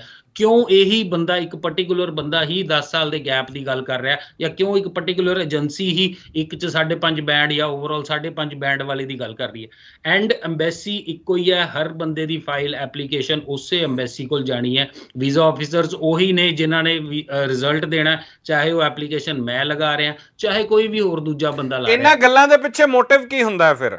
ਜੇ ਕੋਈ ਇਹ ਗੱਲ ਕਹਿੰਦਾ ਕਿ 10 ਸਾਲ 15 ਸਾਲ ਦੇ ਗੈਪ ਵਾਲੇ ਵੀ ਆ ਜਾਓ, ਕੋਈ ਵੀ ਆ ਜੇ 40 ਸਾਲ ਦੀ ਉਮਰ ਵਾਲਾ ਵੀ ਆ ਜੇ 5 ਬੈਂਡ 5.5 ਬੈਂਡ ਓਵਰਆਲ ਓਵਰਆਲ ਵਾਲਾ ਵੀ ਆ ਜੇ ਪੀਟੀ ਦੇ ਵਿੱਚ ਘੱਟ ਸਕੋਰ ਹੈ ਤਾਂ ਉਹ ਵੀ ਆ ਜੇ ਮੋਟਿਵ ਕੀ ਹੈ ਫਿਰ? ਦੇਖੋ ਮੋਟਿਵ ਬੜਾ ਸਿੰਪਲ ਹੈਗਾ ਤੁਹਾਨੂੰ ਪਤਾ ਹੈ ਇਹ ਪਰਚੀਆਂ ਕੱਟਣ ਵਾਲਾ ਮੋਟਿਵ ਹੈਗਾ ਕਿ ਐਡਵਾਂਸ ਦੇ ਵਿੱਚ ਜਿਹੜਾ 80 90000 ਤੋਂ ਲੈ ਕੇ 1.5 ਲੱਖ ਰੁਪਏ ਲਿੱਤਾ ਜਾਂਦਾ, ਉਹ ਮੋਟਿਵ ਹੈ। ਉਹਨਾਂ ਦਾ ਜਿਹੜਾ ਰੈਵਨਿਊ ਮਾਡਲ ਹੈਗਾ, ਉਹ ਰੈਵਨਿਊ ਮਾਡਲ ਹੀ ਇਹ ਹੈ ਕਿ ਐਡਵਾਂਸ ਦੇ ਵਿੱਚ ਪੈਸੇ ਲੈ ਲਓ, ਉਸ ਤੋਂ ਬਾਅਦ ਵੀਜ਼ਾ ਲੱਗਦਾ, ਲੱਗੇ, ਨਹੀਂ ਲੱਗਦਾ, ਨਾ ਲੱਗੇ। ਬਾਅਦ ਚ ਕਹਿਣਾ ਬੜਾ ਸੌਖਾ, ਦੇਖੋ ਜੀ, ਮੈਂ ਤਾਂ ਫਾਈਲ ਤੁਹਾਡੀ ਐਮਬੈਸੀ 'ਚ ਲਾਤੀ, ਹੁਣ ਐਮਬੈਸੀ ਨੇ ਵੀਜ਼ਾ ਨਹੀਂ ਦਿੱਤਾ। ਹੋ ਸਕਦਾ ਕਿਤੇ ਕੋਈ 10 ਚੋਂ ਜਾਂ 100 ਚੋਂ ਕੋਈ ਇੱਕ ਵੀਜ਼ਾ ਕਿਸੇ ਦਾ ਆ ਜਾਂਦਾ ਹੋਊਗਾ ਔਰ ਇੱਕ ਵੀਜ਼ੇ ਨੂੰ ਇਸ ਤਰੀਕੇ ਨਾਲ ਪ੍ਰੈਜ਼ੈਂਟ ਕੀਤਾ ਜਾਂਦਾ ਕਿ ਪਤਾ ਨਹੀਂ ਕਿੱਡੀ ਵੱਡੀ ਜਿਹੜੀ ਮਾਰ ਹੈਗੀ ਉਹ ਮਾਰ ਲਈ। ਜੇ ਅੱਜ ਆਸਟ੍ਰੇਲੀਆ ਦੀ ਗੱਲ ਕਰਾਂ ਇੱਥੇ ਵਿਜ਼ਟਰ ਵੀਜ਼ੇ ਤੇ ਬਹੁਤ ਸਾਰੇ ਲੋਕ ਆਉਂਦੇ ਆ 50 50 ਸਾਲ ਵਾਲੇ ਲੋਕਾਂ ਦੀ ਜਿਹੜੀ ਐਪਲੀਕੇਸ਼ਨ ਹੈਗੀ ਉਹ ਵਿਜ਼ਟਰ ਤੋਂ ਸਟੂਡੈਂਟ ਚ ਕਨਵਰਟ ਹੋ ਜਾਂਦੀ ਹੈ ਮੈਂ ਆਪਣੇ ਆਫਿਸ ਦੇ ਵਿੱਚ ਬੈਠਾ ਹਾਂ ਗਲੋਬਲ ਮੈਲਬਨ ਦੇ ਵਿੱਚ ਇੱਥੇ ਅਸੀਂ ਵੀ ਉਹ ਕੰਮ ਕਰਦੇ ਆ ਜਿਹਦੇ ਵਿੱਚ ਵਿਜ਼ਟਰ ਵੀਜ਼ੇ ਤੇ ਆਏ ਬੰਦੇ ਦੀ ਐਪਲੀਕੇਸ਼ਨ ਸਟੂਡੈਂਟਸ ਕਨਵਰਟ ਹੋ ਜਾਂਦੀ ਹੈ ਕਿਉਂਕਿ ਐਂਡ ਆਫ ਦੀ ਡੇ ਗੱਲ ਹੋਈ ਹੈ ਕਿ ਪੜ੍ਹਾਈ ਦੀ ਕੋਈ ਉਮਰ ਨਹੀਂ ਹੁੰਦੀ। ਬਟ ਜਦੋਂ ਤੁਸੀਂ ਉਸ ਚੀਜ਼ ਨੂੰ ਦਿਖਾ ਕੇ ਕਿ ਇਹਨੂੰ ਇੱਕ ਪੈਰਾਮੀਟਰ ਬਣਾ ਲਓ ਜਾਂ ਇਹਨੂੰ ਤੁਸੀਂ ਕਹੋ ਕਿ ਜੀ ਇਹੀ ਤਰੀਕਾ ਹੈ, ਇਹਦੇ ਨਾਲ ਇਦਾਂ ਹੀ ਚੱਲੂਗਾ, ਉਹ ਐਮਬੈਸੀ ਨੂੰ ਜਾਂ ਉਹ ਵੀਜ਼ਾ ਆਫੀਸਰਸ ਨੂੰ ਉਹ ਚੀਜ਼ ਸਮਝ ਨਹੀਂ ਲੱਗਦੀ। ਸੋ 40 ਸਾਲ ਜਾਂ 5.5 ਬੈਂਡ ਵਾਲਾ ਜਿਹੜਾ ਸਟੂਡੈਂਟ ਹੈਗਾ, ਜੇ ਕਿਸੇ ਨੇ ਵੀਜ਼ੇ ਲਿੱਤੇ ਆ, ਉਹਨਾਂ ਨੂੰ ਕੋ ਦਿਖਾਓ ਉਹ ਵੀਜ਼ੇ ਕਿੱਥੇ ਹੈਗੇ ਆ। ਐਮਬੈਸੀ ਨੇ ਵੀਜ਼ਾ ਗ੍ਰਾਂਟ ਜਿਹੜੀ ਹੈਗੀ ਹੈ 5.5 ਬੈਂਡ ਵਾਲੇ ਦੀ, ਅੱਜ ਤੋਂ 2 2.5 ਸਾਲ ਪਹਿਲਾਂ ਹੀ ਉਹਦੇ ਤੇ ਨਕੇਲ ਪਾਤੀ ਸੀ ਔਰ ਉਹ ਵੀਜ਼ੇ ਸ਼ਾਇਦ ਕਿਤੇ 100 ਚੋਂ ਹਜ਼ਾਰ ਚੋਂ ਕਿਸੇ ਦਾ ਇੱਕ ਵੀਜ਼ਾ ਲੱਗਾ ਹੋਊਗਾ ਅਦਰਵਾਈਜ਼ ਉਹ ਚ ਸਕਸੈਸ ਨਹੀਂ ਹੈਗੀ। ਹਾਂ, ਤੁਸੀਂ ਲੋਟਰੀ ਪਾਣਾ ਚਾਹੁੰਦੇ ਹੋ, ਜਿਵੇਂ ਲੋਕੀ ਪਾਉਂਦੇ ਆ ਪਾਲੋ, ਜਰੂਰ ਪਾਓ ਲੋਟਰੀ 1.5 ਲੱਖ ਰੁਪਏ ਦੀ ਲੋਟਰੀ ਦੀ ਟਿਕਟ ਹੈ। ਜੇ 100 ਚੋਂ ਬਹੁਤ ਸਾਡੇ ਕਰਮ ਚੰਗੇ ਹੈਗੇ ਆ, ਤੇ 100 ਚੋਂ ਹਜ਼ਾਰਾਂ ਚੋਂ ਤੁਹਾਡਾ ਨੰਬਰ ਲੱਗ ਗਿਆ ਕਿ ਇੱਕ ਅੱਧੇ ਬੰਦੇ ਦਾ ਵੀਜ਼ਾ ਲੱਗ ਗਿਆ, ਤੁਹਾਡੀ ਵੀ ਐਡ ਸੋਸ਼ਲ ਮੀਡੀਆ ਤੇ ਉਸ ਕੰਪਨੀ ਵੱਲੋਂ ਫੁੱਲ ਫਲੈਜ ਚਲਾਈ ਜਾਊਗੀ ਕਿ ਦੇਖੋ ਜੀ, ਇੱਕ ਚ 5.5 ਬੈਂਡ ਵਾਲੇ ਦਾ ਵੀਜ਼ਾ ਲੈ ਲਿਆ ਪਰ ਪਰ ਖੰਨਾ ਸਾਹਿਬ, ਇਹ ਇਹ ਤਾਂ ਪਹਿਲਾਂ ਵੀ ਇਸੇ ਤਰੀਕੇ ਨਾਲ ਲੋਕ ਜਾ ਰਹੇ ਸੀਗੇ, ਕੈਨੇਡਾ ਚ ਸਪਾਊਸ ਵੀਜ਼ਾ ਲੱਗ ਜਾਂਦਾ ਸੀਗਾ। ਹੁਣ ਕੀ ਵੱਖਰਾ ਕੀ ਹੋਇਆ ਜੀ? ਦੇਖੋ ਰੈਗੂਲੇਸ਼ਨਸ ਚੇਂਜ ਹੋਈਆਂ ਨੇ, ਕੁਛ ਨਾ ਕੁਛ ਕੈਨੇਡਾ ਦੀਆਂ ਜਿਹੜੀਆਂ ਚੀਜ਼ਾਂ ਹੈਗੀਆਂ, ਹੁਣ ਮੈਂ ਉਹਨੂੰ ਡਿਟੇਲ ਦੇ ਵਿੱਚ ਰੂਲ ਕਿਹੜਾ ਚੇਂਜ ਹੋਇਆ, ਕਿਹੜਾ ਨਹੀਂ, ਉਹ ਨਹੀਂ ਨਹੀਂ ਦੱਸਣਾ ਚਾਹੂੰਗਾ ਸੋਸ਼ਲ ਮੀਡੀਆ ਪਲੇਟਫਾਰਮ ਤੇ ਬਟ ਵੀਜ਼ਾਸ ਦਿਖਾਣਾ ਚਾਹਨਾ ਵਾ। ਜਿੱਥੇ ਤੱਕ ਤੁਸੀਂ, ਜੇ ਅਸੀਂ ਗੱਲ ਕਰੀਏ ਕਿ ਤੁਸੀਂ ਵੀ ਇਹ ਗੱਲ ਕਹਿ ਸਕਦੇ ਹੋ ਜਾਂ ਸਰੋਤੇ ਵੀ ਸੋਚ ਸਕਦੇ ਕਿ ਜੇ ਤੁਸੀਂ ਇੱਕ ਅੱਧਾ ਵੀਜ਼ਾ ਲੈ ਲਿਆ ਕੋਈ ਸਪਾਊਸ ਦਾ ਤੇ ਤੁਸੀਂ ਵੀ ਤਾਂ ਉਸੇ ਪਾਸੇ ਤੁਰਨਾ ਸ਼ੁਰੂ ਹੋ ਗਏ। ਅਸੀਂ ਉਸ ਪਾਸੇ ਤੁਰਨਾ ਨਹੀਂ ਸ਼ੁਰੂ ਹੋਏ ਕਿਉਂਕਿ ਫੀਸ ਆਫਟਰ ਵੀਜ਼ਾ ਦਾ ਜਿਹੜਾ ਅਸੀਂ ਕਰਦੇ ਪਏ ਆ ਪਿਛਲੇ 5 ਸਾਲਾਂ ਤੋਂ ਕਿ ਪੈਸੇ ਵੀਜ਼ਾ ਲੱਗਣ ਤੋਂ ਬਾਅਦ ਦੋ। ਸੋ ਸਟੂਡੈਂਟ ਜੇ ਆ ਕੇ ਉਹਨੂੰ ਕੋਈ ਵੀ ਕਿਸੇ ਤਰੀਕੇ ਦਾ ਡਾਊਟ ਹੈਗਾ ਤਾਂ ਅਸੀਂ ਤੁਹਾਨੂੰ ਸਾਫ਼ ਕਰਨੇ ਕਿ ਕੋਈ ਪੈਸਾ ਨਾ ਦੇ ਪਰ ਆਪਣੇ ਕਾਗਜ਼ ਦੇ, ਜੇ ਸਾਨੂੰ ਤੇਰੀ ਐਪਲੀਕੇਸ਼ਨ ਸਮਝ ਲੱਗਦੀ ਹੈ ਅਸੀਂ ਉਹ ਫਾਈਲ ਪ੍ਰੋਸੈਸ ਕਰਾਂਗੇ ਜਿੱਦਾਂ ਤੇਰਾ ਵੀਜ਼ਾ ਲੱਗ ਜਾਊਗਾ, ਉਸ ਤੋਂ ਬਾਅਦ ਤੇਰੇ ਤੋਂ ਪੈਸੇ ਲਵਾਂਗੇ। ਇਸ ਗੱਲ ਦਾ ਕ੍ਰਿਟਿਸਿਜ਼ਮ ਵੀ ਹੋਇਆ। ਬਹੁਤ ਸਾਰੇ ਲੋਕ ਇਹ ਕਹਿੰਦੇ ਆ ਕਿ ਜੇ ਅਸੀਂ ਜੈਨੂਇਨਲੀ ਜਾ ਸਕਦੇ ਆ ਵੀਜ਼ਾ ਸਾਡਾ ਹੀ ਅਪਲਾਈ ਹੋਣਾ ਹੈ, ਤੇ ਫਿਰ ਅਸੀਂ 7-8 ਲੱਖ ਰੁਪਏ ਐਕਸਟਰਾ ਕਿਉਂ ਪੇ ਕਰੀਏ ਆਫਟਰ ਵੀਜ਼ਾ ਦੇ ਵਿੱਚ? ਦੇਖੋ both sides of the coin ਹੈ ਗਿਆ ਮੱਕੜ ਸਾਹਿਬ ਪਿੱਛੇ ਜੇ ਜੇ ਮੌਂਟਰੀਅਲ ਦੀ ਗੱਲ ਕਰਾਂ ਮੌਂਟਰੀਅਲ 'ਚ ਤਿੰਨ ਕਾਲਜਾਂ ਨੇ ਬੈਂਕਰਪਸੀ ਫਾਈਲ ਕੀਤੀ। ਮੈਂ ਰੀਸੈਂਟਲੀ ਕੈਨੇਡਾ ਸੀਗਾ, ਤਾਂ ਉੱਥੇ ਮੈਨੂੰ ਇੱਕ ਕੁੜੀ ਮਿਲੀ, ਉਹਦਾ ਵੀਜ਼ਾ ਲੱਗਾ ਸੀ ਸਾਡੇ ਕਾਲਜ ਦੇ ਵਿੱਚ ਆਈ ਤੇ ਕਾਲਜ 'ਚ ਆ ਕੇ ਮੈਨੂੰ ਮਿਲੀ ਤੇ ਉਹਨਾਂ ਗੱਲਾਂ ਗੁੱਲਾਂ ਕਰਦਾ ਰਿਹਾ। ਉਹ ਕਹਿੰਦੀ ਕਿ ਭਾਜੀ, ਮੈਂ ਤਾਂ ਇੱਥੇ ਕੈਨੇਡਾ ਅੱਜ 35 ਲੱਖ ਰੁਪਏ 'ਚ ਪਹੁੰਚੀ ਆ ਮੈਂ ਕਿਹਾ, ਤੂੰ 35 ਲੱਖ 'ਚ ਕਿੱਦਾਂ ਪਹੁੰਚੀ ਹੈ ਕਿ ਸਾਡੇ ਕਾਲਜ ਦੀ ਫੀਸ ਤੇ ਨਹੀਂ? ਕਹਿੰਦੀ, ਭਾਜੀ, ਪਹਿਲਾਂ 18000 ਡਾਲਰ ਮੇਰਾ ਐਮ ਕਾਲਜ ਦੇ ਵਿੱਚ ਵੀ ਫਸਿਆ ਸੀਗਾ, ਉਹ ਤਾਂ ਵਾਪਸ ਆਇਆ ਨਹੀਂ ਕਿਸੇ ਪਾਸਿਓਂ। ਮੈਂ ਕਿਹਾ ਫੇਰ ਹੁਣ ਤੂੰ, ਕਿਉਂਕਿ ਮੇਰਾ ਪ੍ਰਾਈਵੇਟ ਕਾਲਜ ਆ, ਹੁਣ ਤੂੰ ਇਹਦੇ ਵਿੱਚ ਦਾਖਲਾ ਲੈ ਕੇ ਆ ਗਈ। ਕਹਿੰਦੀ, ਭਾਜੀ, ਫਿਰ ਮੈਨੂੰ ਏਜੰਟ ਨੇ ਕਿਸੇ ਨੇ ਆਪਸ਼ਨ ਦਿੱਤੀ ਕਿ ਮੈਂ ਤੈਨੂੰ ਵਧੀਆ ਕਾਲਜ 'ਚ ਦਾਖਲਾ ਕਰਾਉਂਗਾ ਬਟ ਪੈਸੇ ਉਦੋਂ ਲਵਾਂਗਾ ਪ੍ਰਾਈਵੇਟ ਹੋਊਗਾ, ਪੈਸੇ ਉਦੋਂ ਲਵਾਂਗਾ ਜਦੋਂ ਵੀਜ਼ਾ ਲੱਗ ਜਾਊਗਾ ਤਾਂ ਫਿਰ ਤੂੰ ਕੀ ਸੋਚਿਆ? ਕਹਿੰਦੀ ਫਿਰ ਮੈਂ ਫਾਦਰ ਸਾਹਿਬ ਨਾਲ ਆਪਣੇ ਨਾਲ ਜਦੋਂ ਉੱਥੇ ਗਈ ਤਾਂ ਉਹ ਵੀ ਕਹਿੰਦੇ ਕਿ ਦੇਖ, ਪਹਿਲਾਂ ਵੀ 12-15 ਲੱਖ ਰੁਪਏ ਅਸੀਂ ਖਰਾਬ ਕਰ ਲਿਆ, ਜਿਹਦੇ ਵਿੱਚ ਫਾਈਲ ਐਮਬੈਸੀ ਤੱਕ ਵੀ ਨਹੀਂ ਪਹੁੰਚੀ। ਔਰ ਉਹ ਪੈਸੇ ਵਾਪਸ ਆਉਣ ਦੀ ਕੋਈ ਗੁੰਜਾਇਸ਼ ਨਹੀਂ ਹੈਗੀ, ਕਿਸੇ ਵੀ ਰੀਜ਼ਨ ਦੇ ਨਾਲ ਉਹ ਪੈਸੇ ਮੁੜਨੇ ਨਹੀਂ ਹੈਗੇ। ਤੇ ਫਿਰ ਜਦੋਂ ਮੈਨੂੰ ਇਹ ਆਪਸ਼ਨ ਮਿਲੀ ਤੇ ਮੈਂ ਹੱਸ ਕੇ ਫੜੀ ਕਿ ਹਾਂ, ਠੀਕ ਹੈ, ਹੁਣ ਲੱਖ 2 ਲੱਖ ਰੁਪਏ ਵੱਧ ਲੱਗ ਜਾਊਗਾ ਬਟ ਮੈਂ ਪੈਸੇ ਉਦੋਂ ਦਊਂਗੀ ਜਦੋਂ ਮੇਰਾ ਵੀਜ਼ਾ ਲੱਗ ਜਾਊਗਾ so both sides of the coin ਹੈ। ਜੇ ਤੁਹਾਨੂੰ ਲੱਗਦਾ ਤੁਹਾਨੂੰ ਟਰਸਟ ਹੈ ਆਪਣੇ ਕੰਸਲਟੈਂਟ ਤੇ ਜਾਂ ਮੇਰੇ ਤੇ, ਜਾਂ ਜਿਹਦੇ ਤੋਂ ਵੀ ਤੁਸੀਂ ਐਪਲੀਕੇਸ਼ਨ ਲਗਵਾਉਂਦੇ ਹੋ ਸਾਈਡ ਬਾਈ ਸਾਈਡ ਆਪਣੇ ਪੈਸੇ ਖਰਚੋ, ਆਪਣਾ ਵੀਜ਼ਾ ਅਪਲਾਈ ਕਰੋ। ਜੇ ਤੁਹਾਨੂੰ ਲੱਗਦਾ ਕਿ ਨਹੀਂ ਯਾਰ, ਮੇਰੇ ਪਿੰਡ 'ਚ ਜਾਂ ਮੇਰੇ ਕਜ਼ਨਸ ਦੇ ਵਿੱਚ ਕਿਸੇ ਨਾਲ ਠੱਗੀ ਹੋਈ ਹੈ, ਤੇ ਮੈਂ ਉਹ ਪੈਸੇ ਪਹਿਲਾਂ ਨਹੀਂ ਦੇਣੇ, ਜੋ ਕਿ ਪੰਜਾਬ ਦੇ ਵਿੱਚ ਬਹੁਤ ਬਹੁਤ ਜ਼ਿਆਦਾ ਵੱਡਾ ਇੱਕ ਮਾਈਂਡਸੈਟ ਹੈਗਾ ਕਿ ਪਹਿਲਾਂ ਪੈਸਾ ਕੋਈ ਨਹੀਂ ਦੇਣਾ, ਕਿਉਂਕਿ ਕੱਲ ਨੂੰ ਪਤਾ ਨਹੀਂ ਕਿ ਇਹ ਬੰਦੇ ਨੇ ਲੱਭਣਾ ਕਿ ਨਹੀਂ ਲੱਭਣਾ, ਇਹ ਆਫਿਸ ਹੋਣਾ ਕਿ ਨਹੀਂ ਹੋਣਾ। ਤੈਨੂੰ ਪਰਸਨਲੀ ਉਸੇ ਜਗ੍ਹਾ ਤੇ ਜਿੱਥੇ ਮੇਰੇ ਅੱਜ ਆਫਿਸ ਨੇ 16 17 ਸਾਲ ਹੋ ਗਏ, ਉਸੇ ਜਗ੍ਹਾ ਤੇ ਸੇਮ ਲੋਕੇਸ਼ਨਸ ਦੇ ਉੱਤੇ ਅੱਜ ਵੀ ਆਫਿਸ ਨੇ। ਸੋ ਉਹ ਇੱਕ ਟਰਸਟ ਜ਼ਰੂਰ ਹੈਗਾ ਲੋਕਾਂ ਨੂੰ ਬਟ ਜਿਵੇਂ ਜਿਵੇਂ ਰੋਜ਼ ਦੀਆਂ ਖਬਰਾਂ, ਜਿਵੇਂ ਹੁਣੇ ਤੁਸੀਂ ਕਿਹਾ ਕਿ ਮਾਨ ਸਾਹਿਬ ਨੇ ਸਪੈਸ਼ਲ ਮਿੰਦਰਾ ਦੀਆਂ ਗੱਡੀਆਂ ਲਾਈਆਂ ਕਿ ਆਪਾਂ ਇਹਨੂੰ ਐਂਟੀ ਹਿਊਮਨ ਟ੍ਰੈਫਿਕਿੰਗ ਜਿਹੜਾ ਸੈੱਲ ਹੈਗਾ, ਉਹਨੂੰ ਵਧੀਆ ਤਰੀਕੇ ਦੇ ਨਾਲ ਫੰਕਸ਼ਨ ਕਰਾਉਣਗੇ। ਬਹੁਤ ਚੰਗੀ ਗੱਲ ਹੈ, ਕਿਉਂਕਿ ਜਿੱਦਾਂ ਜਿੰਨੀ ਇਹ ਇੰਡਸਟਰੀ ਕਲੀਨ ਹੋਊਗੀ ਉਨਾ ਹੀ ਸਾਨੂੰ ਜ਼ਿਆਦਾ ਫਾਇਦਾ ਹੈ। ਉਨਾ ਹੀ ਸਾਡਾ ਸਟੂਡੈਂਟਸ ਨੂੰ ਜਿਹੜਾ ਟਰਸਟ ਹੈਗਾ ਜਾਂ ਉਹਦੇ ਮਾਪਿਆਂ ਨੂੰ ਜਿਹੜਾ ਟਰਸਟ ਹੈ, ਇੱਕ ਚੰਗੇ ਕੰਸਲਟੈਂਟ ਦੇ ਉੱਤੇ ਉਨਾ ਹੀ ਉਹਦਾ ਟਰਸਟ ਬਣੂਗਾ। ਖੰਨਾ ਸਾਹਿਬ, ਲੋਕਾਂ ਨੂੰ ਵੀ ਆਪ ਅਵੇਅਰ ਹੋਣਾ ਪਊਗਾ। ਮੈਂ ਬੀਤੇ ਦਿਨ ਇੱਕ ਇੰਟਰਵਿਊ ਕੀਤਾ ਜਿੱਥੇ ਕੁਝ ਲੋਕਾਂ ਦਾ 5-6 ਕਰੋੜ ਰੁਪਇਆ ਕਿਸੇ ਏਜੰਟ ਦੇ ਵੱਲ ਫਸਿਆ ਔਰ ਜੀਆਈਸੀ ਤੱਕ ਉਹਨਾਂ ਲੋਕਾਂ ਨੇ ਸਿੱਧਾ ਏਜੰਟ ਨੂੰ ਦਿੱਤੀ ਜਾ ਕੇ ਰਾਦਰ ਦੈਨ ਕਿ ਉਹ ਆਪਣੇ ਖਾਤੇ ਦੇ ਵਿੱਚ ਆਪ ਜਮ੍ਹਾਂ ਕਰਾਉਂਦੇ। ਦੇਖੋ, ਜੇ ਇਹ ਚੀਜ਼ਾਂ ਹਜੇ ਤੱਕ ਸਮਝ ਨਹੀਂ ਲੱਗੀਆਂ, ਮੈਨੂੰ ਨਹੀਂ ਪਤਾ ਕਿ ਇਹ ਕੀ ਕਰਨਾ ਪਊਗਾ।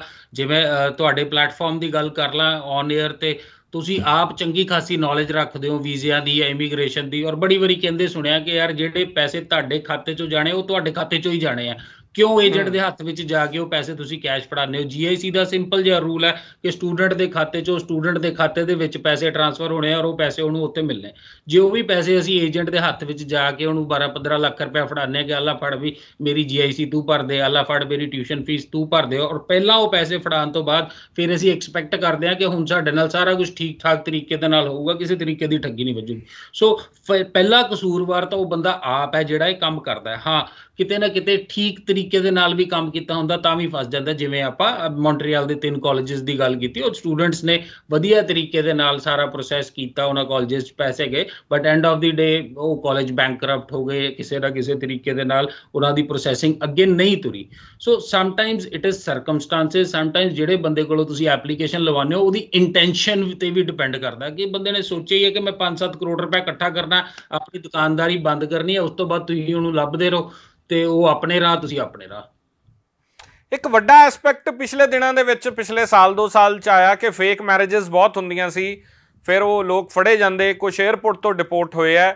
ਇਹਦੇ ਤੇ ਕਲੈਰਿਟੀ ਦਿਓ ਕਿ ਜਦੋਂ ਜਾਣਾ ਹੈ ਕਿਸੇ ਨੇ ਸਪਾਊਸ ਵੀਜ਼ਾ ਇਕੱਠਿਆਂ ਅਪਲਾਈ ਕਰਨਾ ਹੈ ਵਿਆਹ ਕਿੰਨਾ ਪੁਰਾਣਾ ਹੋਵੇ ਇਹ ਵੀ ਮੈਂ ਸੁਣਿਆ ਕਿਤੇ ਕਿ ਫੇਸਬੁੱਕ ਦੀ ਪ੍ਰੋਫਾਈਲ ਤੱਕ ਚੈੱਕ ਕਰ ਲੈਂਦੀ ਹੈ ਐਮਬੈਸੀ ਦੇਖੋ ਜਦੋਂ ਕਿਸੇ ਵੀ ਐਮਬੈਸੀ ਨੇ ਜੇ ਕੋਈ ਚੀਜ਼ ਚੈੱਕ ਕਰਨੀ ਹੈ ਤਾਂ ਉਹਦੇ ਕੋਲ ਬਹੁਤ ਸਾਰੀਆਂ ਐਕਸੈਸਿਸ ਹੈਗੀਆਂ, ਸੋਸ਼ਲ ਮੀਡੀਆ ਤਾਂ ਬਹੁਤ ਛੋਟੀ ਜੀ ਚੀਜ਼ ਹੈ ਕਿ ਤੁਹਾਡਾ ਮੈਰਿਜ ਸਰਟੀਫਿਕੇਟ ਜਾਂ ਹੋਰ ਸਾਰੀਆਂ ਚੀਜ਼ਾਂ ਉਹਨਾਂ ਕੋਲ ਚੈੱਕ ਕਰਨ ਦਾ ਜਿਹੜਾ ਹੈਗਾ ਵਾ, ਉਹ ਐਸਪੈਕਟ ਉਹ ਚੈੱਕ ਕਰ ਸਕਦੇ ਆ। ਬਟ ਹੁੰਦਾ ਕੀ ਹੈ ਕਿ ਉਹਨਾਂ ਕੋਲ ਵੀ ਰਿਸੋਰਸਸ ਥੋੜੇ ਨੇ ਜਾਂ ਨੰਬਰ ਆਫ ਵੀਜ਼ਾ ਆਫੀਸਰਸ ਉਹਨੇ ਨਹੀਂ ਹੈਗੇ ਕਿ ਜਿੰਨੀਆਂ ਨੰਬਰ ਆਫ ਐਪਲੀਕੇਸ਼ਨਸ ਨੇ ਕਿ ਹਰ ਫਾਈਲ ਦੀ ਡਿਟੇਲ ਦੇ ਵਿੱਚ ਉਹ ਨਹੀਂ ਜਾਂਦੇ।